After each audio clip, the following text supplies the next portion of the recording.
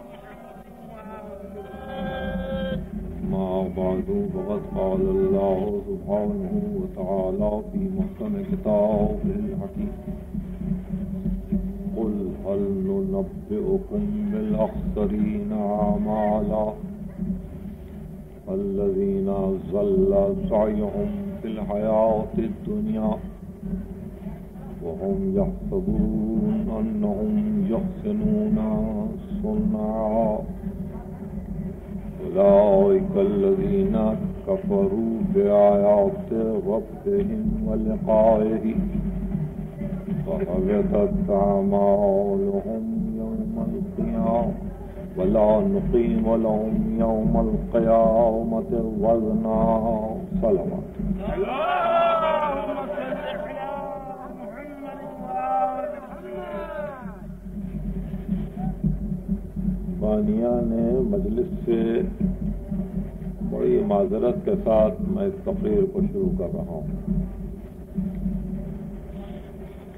अगरचे मैंने बहुत चाहा कि ये ज़िम्मेदारी मुझ पर न डाली जाए, लेकिन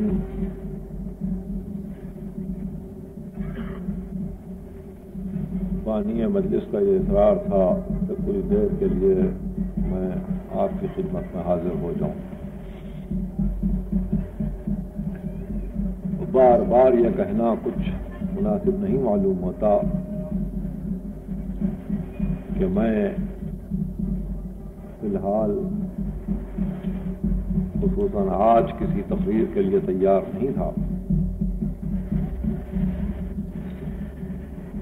लेकिन इस जबर के बाद ये ज़रूरी मालूम होता है कि कुछ दकीक़े आपसे मांगे जाएँ और बाज मसाइल को आपके सामने रखा जाए। आयत का तर्जमा सुनिए, कुल हल नब्बेकुम बिलखसरीन आमाला कह दो रसूल, मैं तुमको बतलाऊं कि किसका अमल खसारे में है? अल्लजीन फिल हयात दुनिया, ये वो लोग होंगे कि जिनकी कोशिशें सिर्फ़ जिंदगानी दुनिया तक महदूद रहीं। वो हम यह सकून अन्नहुम यहसनून सुना, और वही, वो यही समझते रहे कि वो कोई बड़ा काम कर रहे हैं। उलाकल्लदीन कफर ब्यायात रब हिंद व लिकाही यही वो लोग हैं जो अपने रब की आयतों से इनकार करते रहे। और यौम में आखिर का उन्होंने कभी अकरार नहीं किया, उस पर ईमान ही नहीं लाया। वह हवे तक आमाल उनके अमाल हक वला नकीम लहुम यौमल क़ियामत वजना और उनके लिए क़यामत में किसी किस्म का वज़न उनके अमाल में बाकी नहीं रखा गया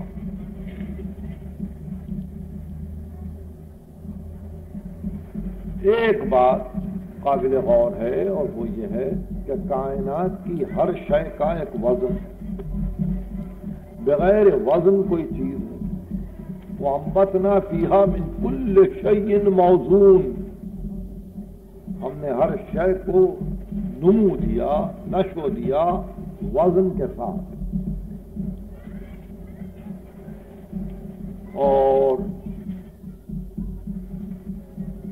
आपकी जबान में और आपकी जबान के अदब में भी आपने ये महसूस किया होगा कि पत्थर का भी वज़न है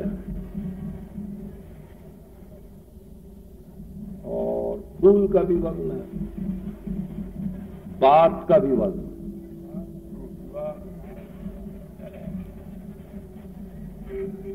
यानी इंसान अपने जब जज्बात का इजहार करता है और किसी के मुतालिक ये कहना चाहता है कि उनकी बातें काबिल कदर होती हैं तो ये कहता है कि उनकी बात में वज़न है। बज़ाहिर अगर तोलने की कोशिश की जाए तो आप किसी वज़न को नहीं पाए तो नूर में वज़न है, अंधेरे में वज़न है, ज़मीन व आसमान में वज़न है, ये सैयदुलसाजदीन सलवातुल्लाह दुआ के ये अल्फाज हैं। इस आयत में इशाद होता है कि कयामत में उनके लिए कोई वज़न नहीं है। उनके लिए कोई वज़न ही नहीं। और फिर इशाद हुआ, अलवजनो यौमिल हक कयामत का दिन वो है कि जिसमें सिर्फ़ वज़न हक के लिए है। वज़न सिर्फ़ हक के लिए है। और वो इसलिए है कि दुनिया में भी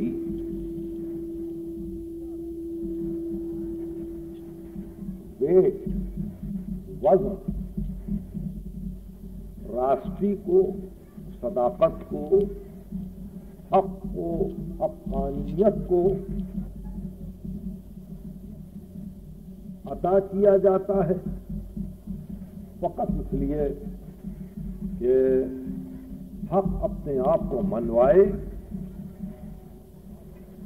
बजाहिर हक के मुकाबिल में, दुनियावी एतबार से। बड़ी बड़ी वजनी चीज़ें होंगी। लेकिन वो जो वज़न है हक का उसका कियास पत्थर के वज़न पर नहीं किया जा सकता, सोने चांदी के वज़न पर नहीं किया जा सकता, या और किसी जमादी कुत के वज़न के मुताबिक वो कियास कायम नहीं किया जाता।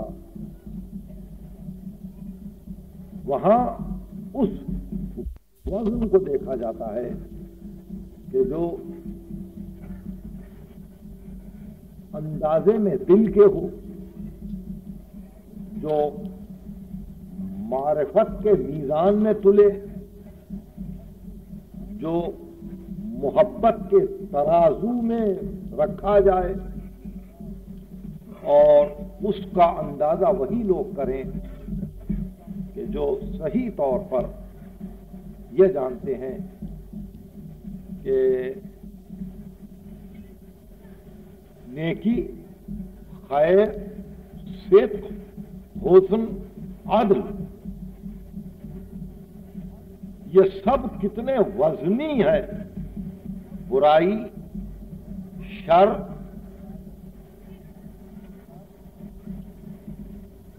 निसब गलत के मुकाबिल में।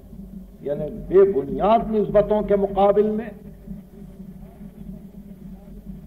यकीनन एक नस्बत सही का असर है और उसी का वज़न है। शर के मुकाबिल में, खैर का वज़न है। जुल्म के मुकाबिल में आदिल का वज़न है। यह ऐसी गुफ्तु है कि जिसको मैं समझता हूँ कि हर दिलो दिमाग में उसकी जगह है। अल वज़न यौम हक कयामत में वज़न सिर्फ़ हक के लिए।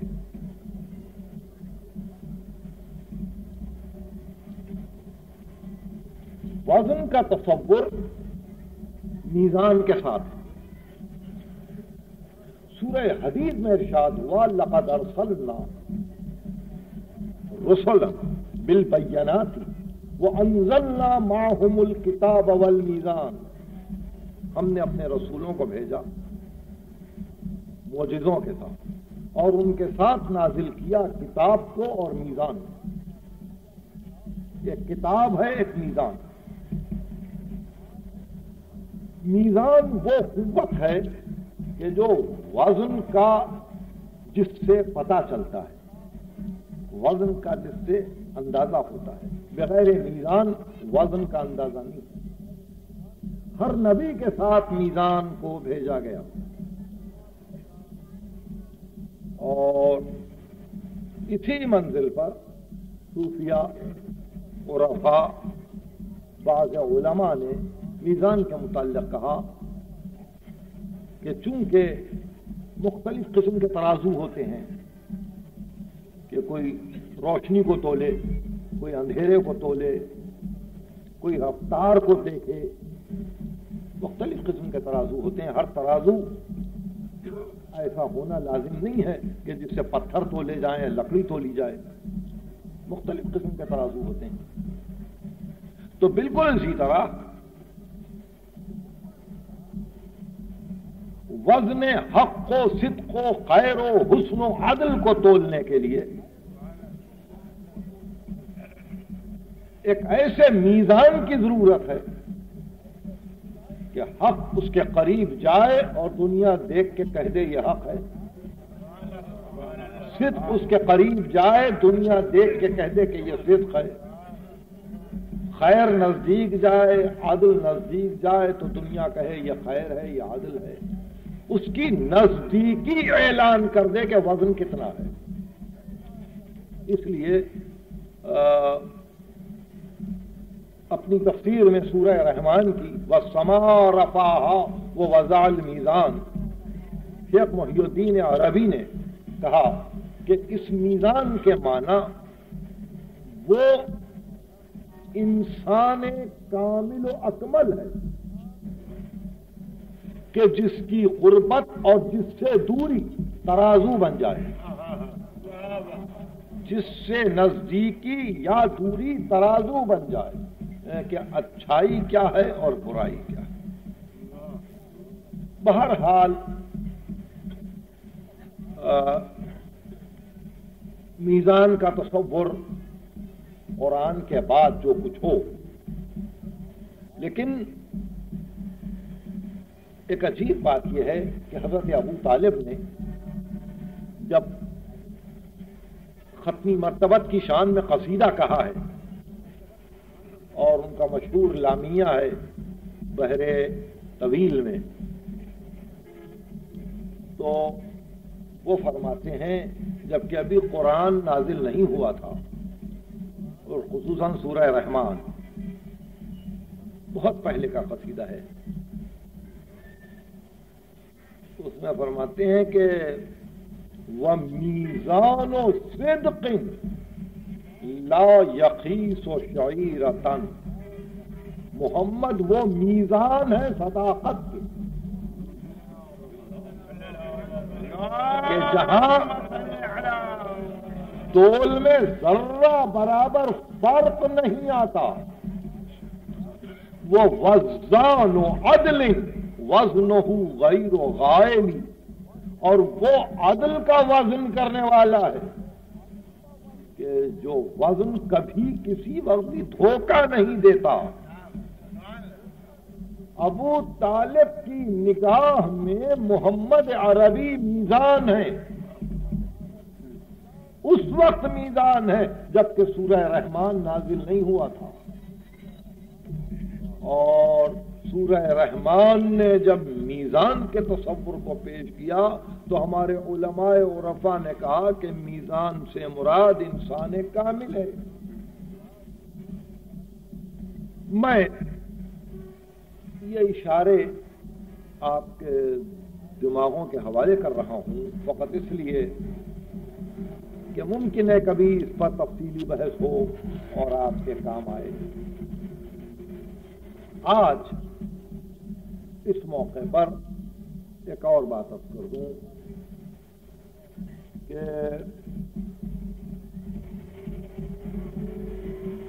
जहाँ ये कहा गया अल वजनो यौमिन हक, कि कयामत के दिन वज़न सिर्फ़ हक के लिए। तो वहाँ इर्शाद हुआ, फमन सकुलत मवाजीन हो उलामुफलहून बस जिसका वज़न गरा होगा, मीजान में जिसके सिकल होगा वही फलाह पाने वाले होंगे। रुस्तगारी उन्हीं के लिए होगी कि जिनके लिए वज़न में सिकल हो। मन सकोलत मवाजीन हो जिसके मीजान में सिकल आ जाए। यहाँ तक तो कुछ आयतों के मुताल गुफ्तगु थी। अब तन्हाई में कभी आप ये सोचें कि आपके पास वज़न क्या है? आपका वेट क्या है? बहसीत कम्युनिटी के वेट क्या है? बहसीत फर्द के वेट क्या है? बहसीत इल्म के वज़न क्या है? बहसीत मारिफत के आपका वज़न क्या है? बहसीत आपके तजर्बे के आपका वज़न क्या है? आप अपनी तन्हाई में अपना मुहासबा करते चले जाइए तो आपको पता चलेगा कि किसी मकाम पर आप ये महसूस नहीं करेंगे कि वाकई कोई वज़न आपको हासिल है। ये तवाजो नहीं है खाक सारी नहीं है इनके सारी नहीं है, बल्कि हक पसंदी यही है कि आपके पास कोई वज़न नहीं। न इल्म के एतबार से वज़न है, न तजर्बे के एतबार से वज़न है। कुछ आगे अर्ज़ करूँ, इबादतों के एतबार से भी वज़न नहीं। बिल्कुल नहीं। इस बात है कि इबादतों का जो भी हाल है, वो खुदा ही बेहतर जानता है तो उसमें कहाँ तक खलूस है और कहाँ तक खलूस नहीं है। कहाँ तक मजबूरी है और कहाँ तक इख्तियार है, वो खुदा ही बेहतर जानता है। इबादतों के एतबार से भी वज़न नहीं। इल्म मालूम नहीं कहाँ है, किस मकाम पर है, वज़न नहीं है। तजरबात तजरबात पे अमल करने की सलाहियत नहीं है, वज़न नहीं है। तो फिर आखिर कोई ऐसी चीज़ है आपके पास कि जिसके मुतालिक आप ये कह सकें कि इसमें वज़न है? बस यही एक अम्र है सोचने के काबिल। अगर आपका शूर अगर आपकी बेदारी, अगर आपकी बसीरत, अगर आपकी मारिफत आपको किसी मकाम पर सहारा दे एक यकीन के साथ। एक यकीन के साथ कि है वज़न। तो फिर उस वज़न की हिफाजत कीजिए। जहाँ कहीं आपसे कहा जाए कि ये वज़न है तो फिर उस वज़न की हिफाजत कीजिए। एक बात याद रखिए, अगर इल्म पर आपको दावा है तो हमेशा याद रखिए, कुरान ने कहा, फौका कुल्ल इल्मिन अलीम, हमने हर आलिम पर एक और आलिम को फजीलत दे दी है। इल्म की कोई ताह नहीं है, इल्म की कोई इंतहा नहीं। इल्म पर नाज भेजा है, इल्म में होगा वज़न, लेकिन हमारे पास नहीं बिल्कुल उसी तरह रियाजत, मारफत, और जितनी बातें हो सकती हैं, हमने ये देखा। कि हम कहीं किसी मंजिल पर दावा नहीं कर सकते। अलबत्ता जिस चीज़ से पहचाने जा रहे हैं, जिस बात से दुनिया इशारे करके कहती है, ये वो है। वहाँ तो वज़न है।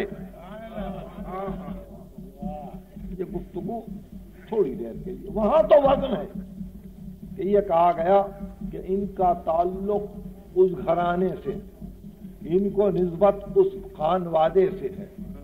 इनको रब उस जाते गिरानी से है। तो ये तो है। यहाँ ना तवाजो है ना इनके सारी है। यहाँ ना तवाजो है ना इनके सारी है। यह है कि हमारा रब है। और अगर ये रब किसी और की निगाह सिर्फ़ इसलिए है कि हमारा तारुफ हो। मेरे जुमलों पर जरा सा गौर कीजिए। अगर ये रब्त दुनिया की निगाहों में फकत इसलिए है कि हमारा तारुफ हो कि इनका उस घराने से रब्त है तो यही तारुफ हमारा वज़न है।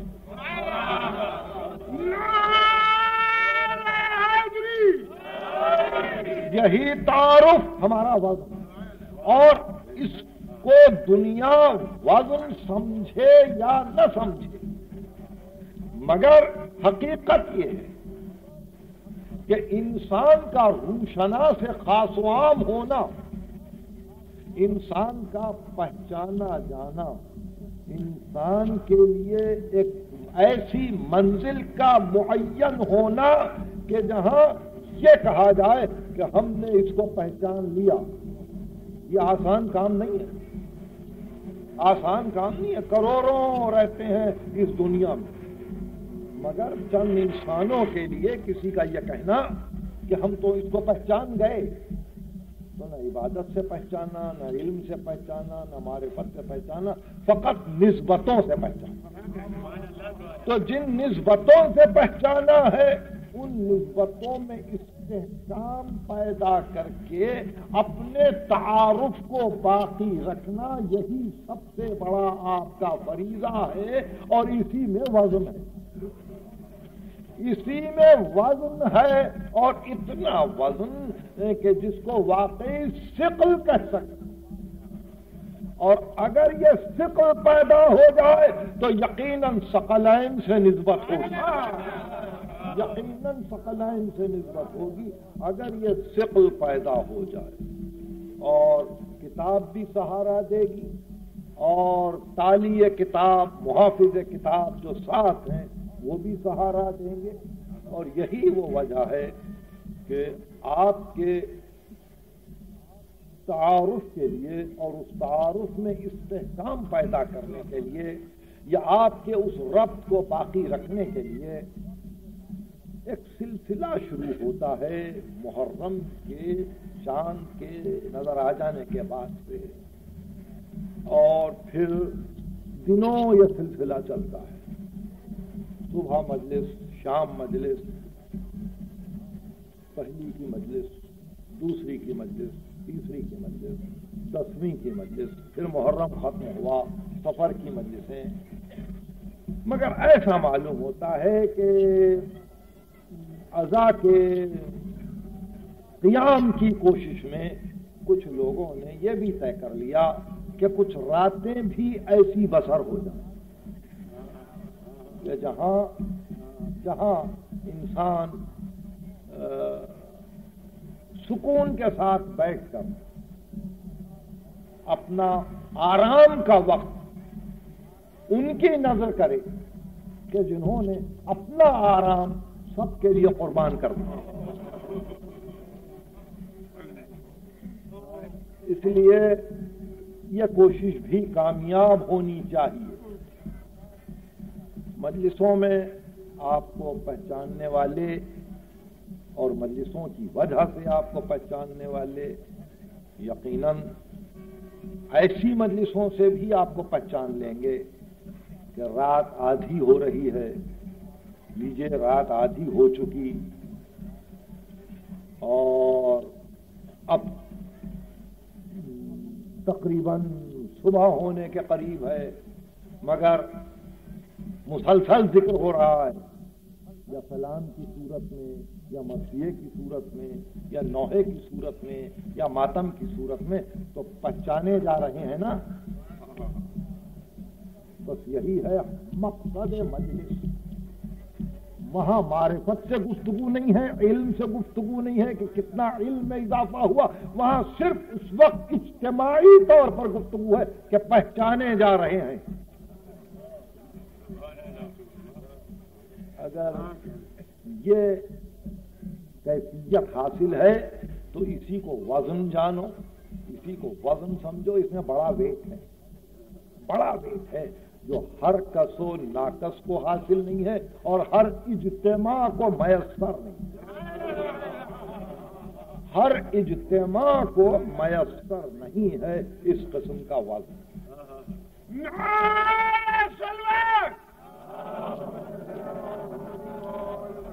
गुफ्तगु करीब खत्म है। मैं नहीं चाहता कि कोई आप पर बार ज़्यादा हो। मगर चंद बातें जिसके मुतालिक मैंने पहले अर्ज़ किया था कि कुछ मसाइल हैं। इन मजलिसों में होता क्या है? इन मजलिसों में होता यह है, जैसा कि ऐलान किया अभी हमारे इसी माइक्रोफोन से ऐलान करने वाले बुज़ुर्ग ने मसीह पढ़े जाएँगे, सलाम पढ़े जाएँगे, नौहे पर मातम होगा। तो मैं ये चाहता था कि जो चीज़ के मुसलसल सूरत अमल में है, यानी मरसिया, नौहा, सलाम तो ये भी देखना है कि क्या इन मरसियों की, इन सलामों की, इन नौहों की तादाद में भी कहीं से इजाफा हो रहा है? यानी क्या हमारे मरसिया को हजरात इस बात के लिए आमादा हैं कि जो मरसिए इस वक्त अदबी एतबार से कहे जा रहे हैं और जो हर हाल में ममदू हैं, उन मरसियों के अलावा सत्रह, अठारह बंद के वो मरसिए भी क्या कहे जा सकते हैं जो हमारे मरसिया खानों के लिए मुमिद मुआविन साबित हों? एक इल्मी मसला है, उसकी ज़रूरत उसकी ज़रूरत। इसलिए ज़रूरत कि जो अदब के लिए मरसिया कहा गया है, सौ बंद का। मालूम नहीं उसको फिर पढ़ने वाला कब पढ़ेगा। आपने तो सुना दिया। आपने तो सुना दिया मेंबर से, मगर फिर उसको सुनने वाला, फिर पढ़ने वाला कब पढ़ेगा, नहीं मालूम। और अगर नहीं आपने मरसिया कह के सोस खान के हवाले किया, मरसिया खान के हवाले किया तो हयात मिल गई। ज़िंदगी मिल गई। जब तक उसको पढ़ा जाता रहेगा ईसाल सवाब का एक मुस्तकिल इंतज़ाम रहेगा। इसलिए मुख्तसर मरसियों की हमको ज़रूरत है। हमारे पास का जखीरा अगरचे पुराना नहीं है उसमें हमेशा ताजगी है। लेकिन जो सवाब हासिल करना चाहे, उसके लिए लाजिम है कि वो अदब नवाजी के अलावा अपने मर्सियों को इल्मी सतह पर पहुँचाने के अलावा मजलिस की भी खिदमत करे और हमारे मरसियाखान हजरात के जखीरे में इजाफा करे। हमारे पास वाकई तौर पर या तो ये काम हो कि रशीद, दबीर, अनीस ओंस ताशुक के मर्जियों से कोई इंतखाब करे और सत्रह बन, अठारह बन, इन हजरात के हवाले किए जाएँ। या फिर ये कि ताज़ा मरसिए कहे जाए। उन्वान अलग अलग करके। मैंने इस दौर में देखा कि मरसिया को हजरात ने, हज़रत अली अकबर, हज़रत हुर, हज़रत मोहम्मद, हज़रत अबुल फजल और सैयद शहदा के लिए, या आगे बढ़ के ज़्यादा से ज़्यादा जनाब जैनब के खुतबात को नज्म करने के लिए मरसिए कहे। हैं मगर इसके अलावा भी तो और मरसिए चाहिए। हाल कूफा में मरसिया चाहिए। सफ़र शाम का मरसिया चाहिए।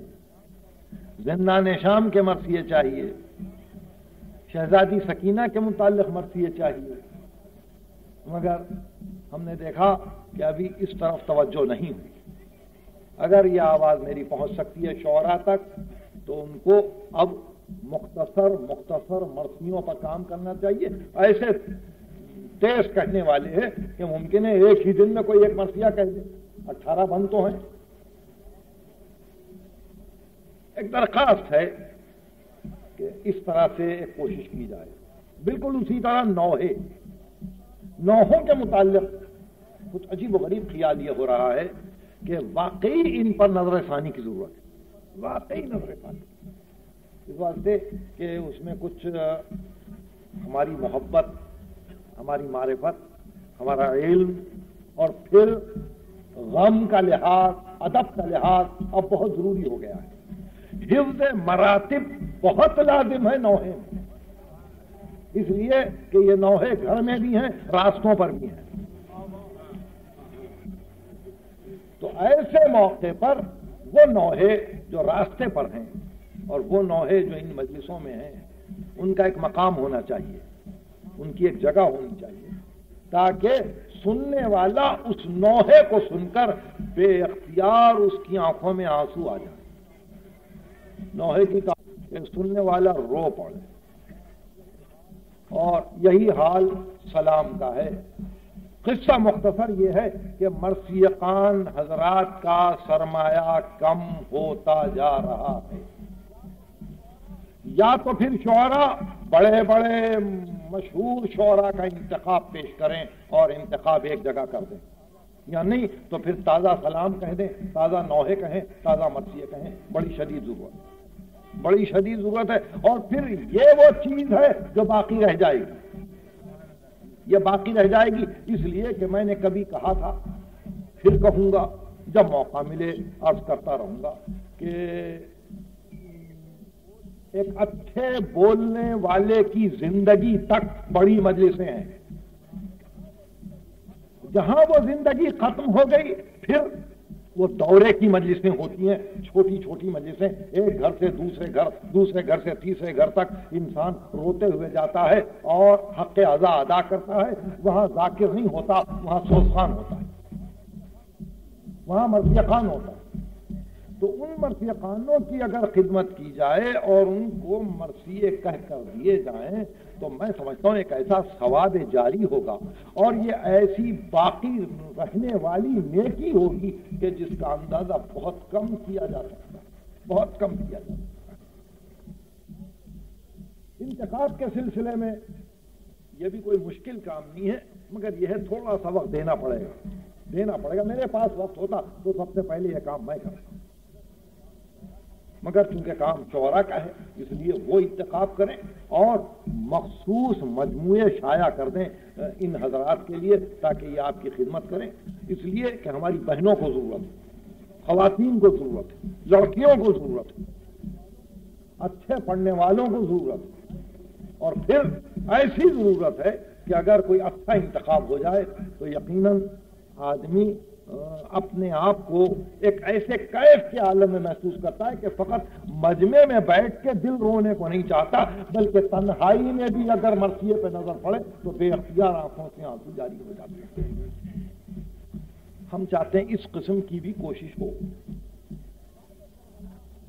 बाद करबला, आपको मालूम है कि दो तीन हस्तियों से गम बाकी है।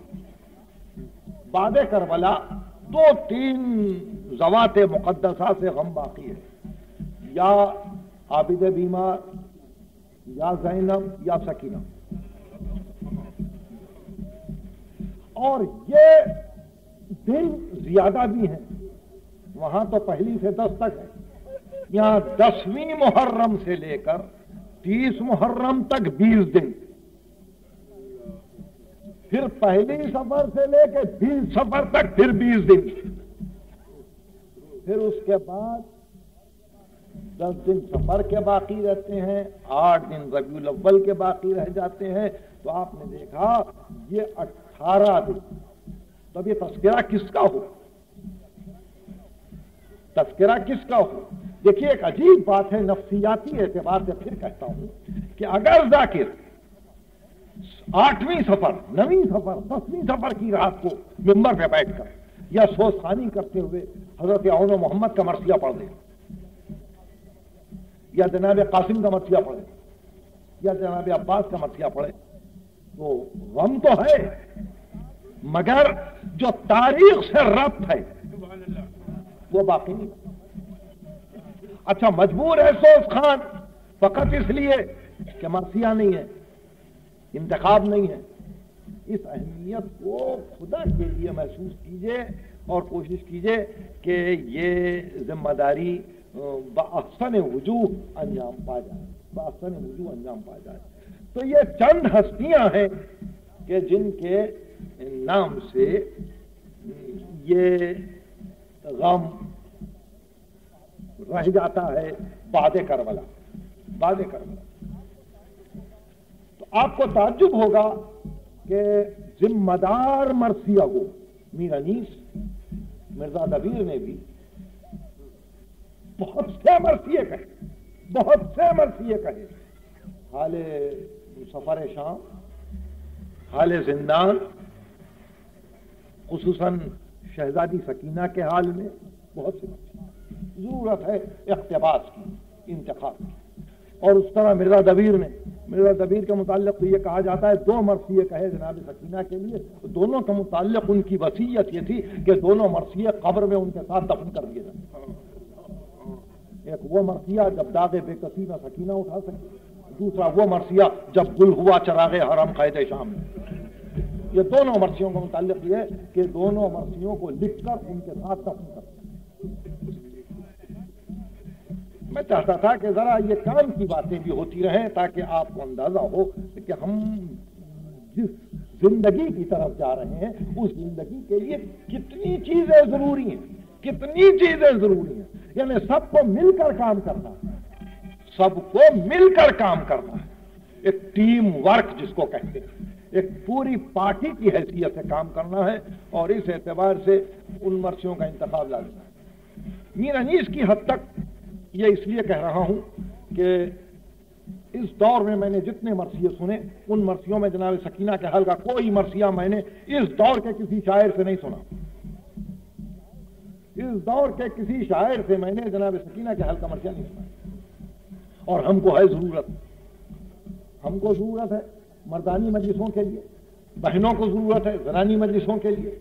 और चाहिए कि इसमें बहुत से मरसिया जाए मालूम नहीं मीर अनीस का क्या लगाव है? खास इस सब्जेक्ट कि जब कभी मौका मिलता है, मीर अनीस, अगर चे अगर चे करबला का ज़िक्र और अगर चे कबल शहादत की गुफ्तु वो चाहते हैं कि कहीं ना कहीं जनाब सकीना का ज़िक्र आ जाए। जनाब सकीना का ज़िक्र आ जाए। आपको याद है कि दो बरस पहले या तीन बरस पहले मैंने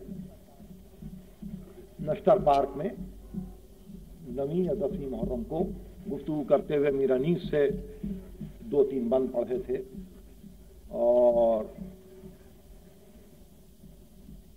वो एक अजीब अजीब मंजिल है मीरानीस और किस अंदाज में वो कह देते हैं कि हुसैन इब्न अली रुखसत ले रहे हैं और सकीना लिपटी हुई आप दिलासा दे रहे हैं और उसके बाद कहते हैं अच्छा सकीना हम जाते हैं तो शहजादी का ये कहना, नींद आएगी जब आपकी बू पाऊँगी बाबा। मैं रात को मख्तल में चली आऊँगी बाबा।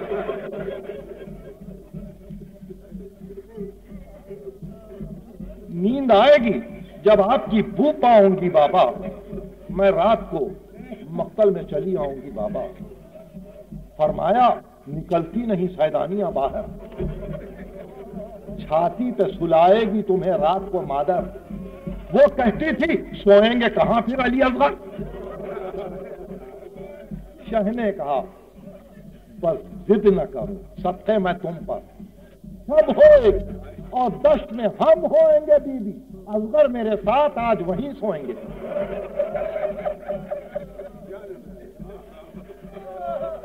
इस जबान को देखिए, इस अदब को देखिए, इस कैफ को।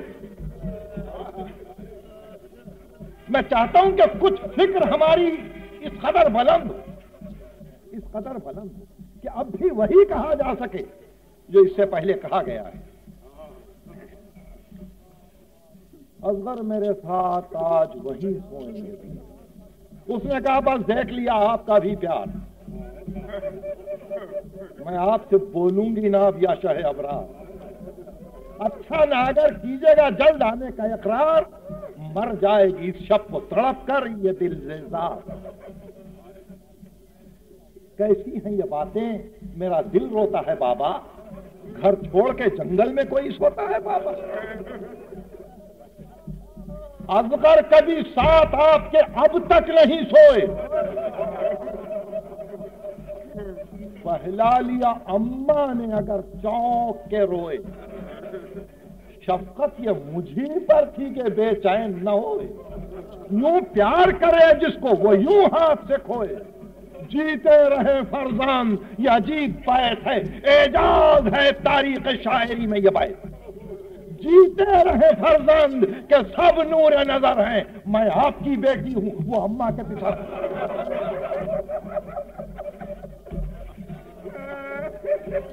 जीते रहे फरजंद के सब नूर नज़र हैं। मैं आपकी बेटी हूँ। वो अम्मा के पितर हैं। ये एक अजीब है। ये तो मकाम अनीस था। अब ख्याल कीजिए, कहाँ से शुरू किया शहजादी के ज़िक्र को? अभी शहादत हुसैन वाकई नहीं हुई है। मैंने सिर्फ़ इसमें से तीन बंद पढ़े हैं। और जिस मकाम से मैंने इकतबास किया है, वहाँ मुसलसल अनीस तेईस बंद फकत शहजादी के ज़िक्र में नज्म कर रहे हैं। और यह बतलाना चाहते हैं कि दिल किस कदर मरबूत है इस बच्ची से। सकीना बीबी, इनके लिए नौहे चाहिए, इनके लिए सलाम चाहिए, इनके लिए मरसिए चाहिए। और जो हक है इस शहजादी के लिए, वो हक अदा हो वह अदा हो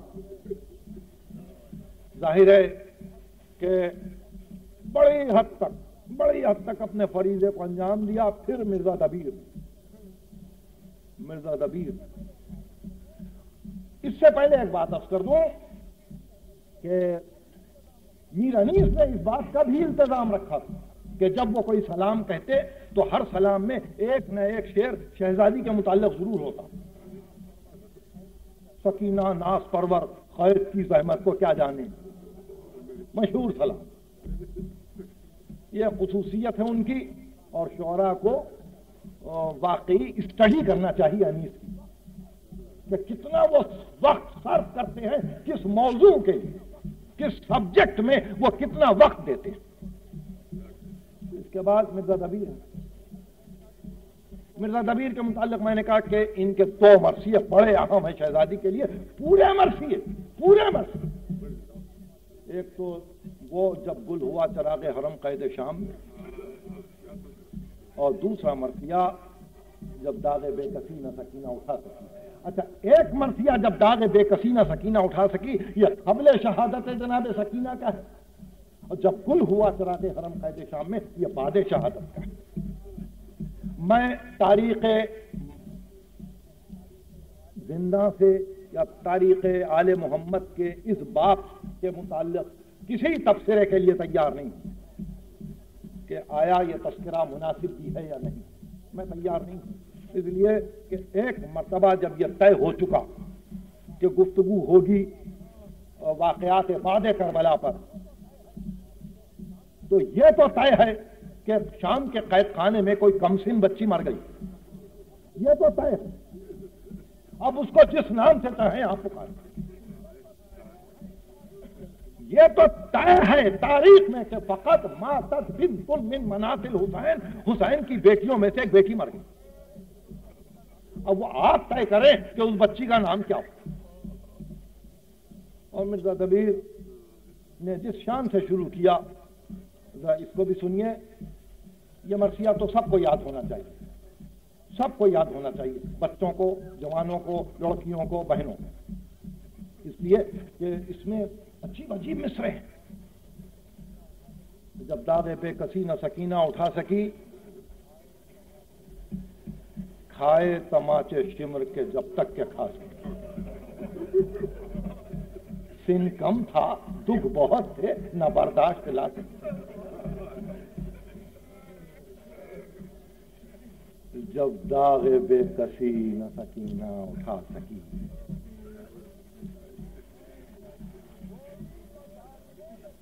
रोई तो जालिमों ने जफा बेशुमार की आखिर ये जबर देख के मौत इख्तियार की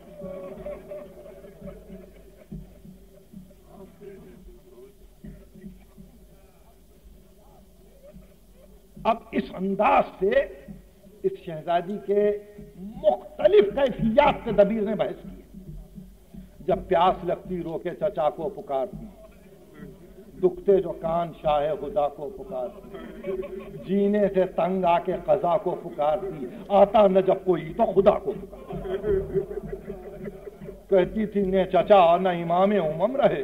शिमरे लही की घुरकियाँ खाने को हम रहे।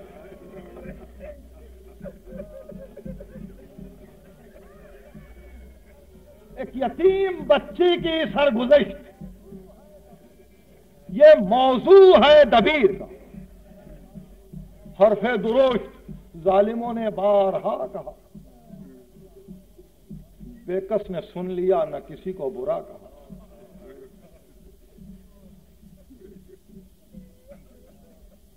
बेकस ने सुन लिया, न किसी को बुरा कहा।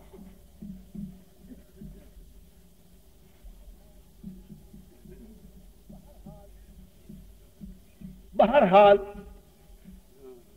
मैं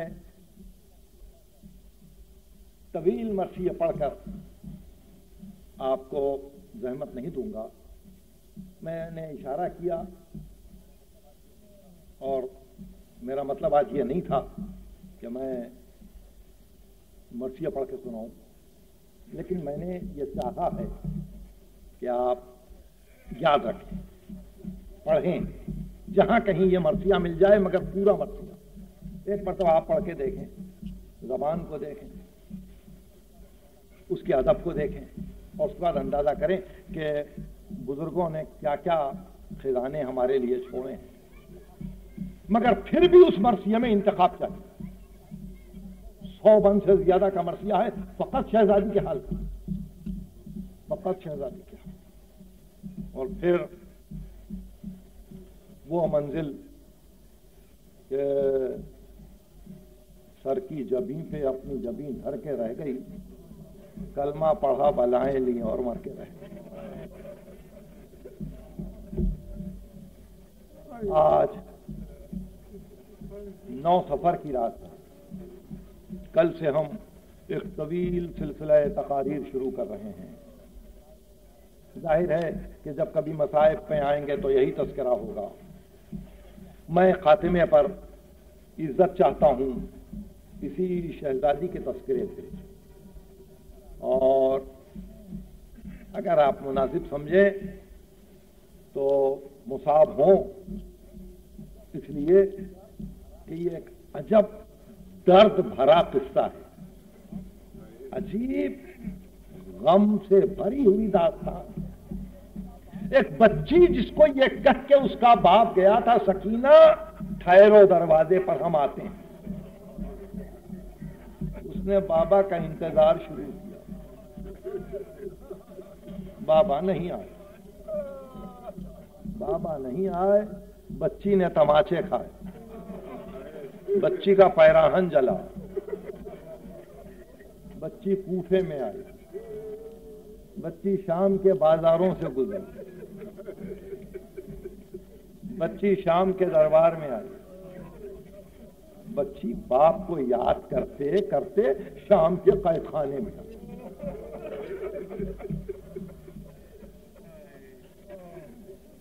ये दो चार जुमले बड़े अजीब हैं कि शाम के कैद खाने की मुद्दत जो भी मुन की जाए, मगर ऐसा मालूम होता है कि रफ्तार रफ्तार शाम की औरतों को एक आदत हो गई थी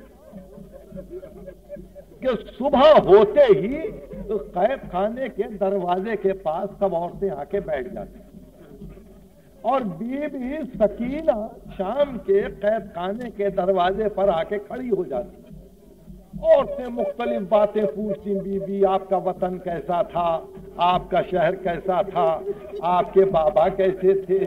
आपके चचा कैसे थे? आपके भाई का क्या हाल था? बीवी मुख्तलिफ़ बातें बयान करती और वो औरतें खूब रोती, खूब मातम होता, इसी तरह से दिन गुजर जाते। अराकीन और असातीन शाम ने यजीद से शिकायत की, अरे ये किस घराने के कैदी हैं? कि अब हमारा चैन खत्म हो गया, हमारा आराम खत्म हो गया, हमारी औरतों को अब रोने से फुर्सत नहीं रही। औरतें सुबह को जाती हैं, शाम तक रोती हुई जिंदान के दरवाजे पर बैठती है। आखिर ये क्या होगा? उसने कहा हाँ हम सोच रहे हैं, हम सोच रहे हैं, कोई सूरत निकल आएगी। कि ऐसे में हजब आदत औरतें गईं। औरतें गईं और सुबह जमा हुई, मगर देखा कि आज जिंदान उदास है। आज कैद खाना उदास है। देर तक रुकने के बाद जब औरतों ने आवाज़ दी बीबी बाहर नहीं आती है बीबी बाहर नहीं आती है। तो किसी ने रो के कहा, वो बच्ची जो रोज दरवाजे पर आती थी, रात को मर गई।